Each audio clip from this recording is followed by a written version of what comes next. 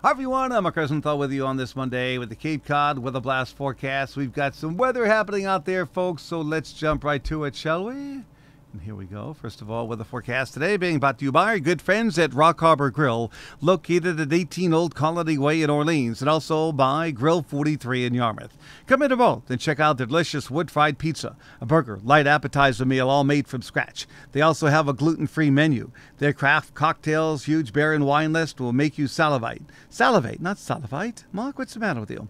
Open seven nights a week. Call Rock Harbor Grill, 508 255 3350. And don't forget, check out Grill 43 in Yarmouth. All right, weather headline on the Cape. Storm winds down today. Snow rain will end. Cold winds are coming.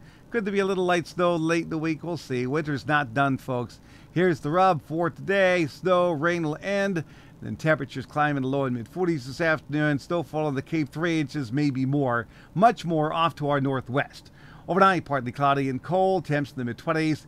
Five day forecast. Cold on Tuesday, but much colder Wednesday. And Thursday, variable clouds in the mid 20s. Could be a touch of light snow late Friday, then warming up into the 40s by Saturday. So there you go. That's my forecast. Thanks for checking in. Please stay tuned for updates. I'm Mark Rosenthal.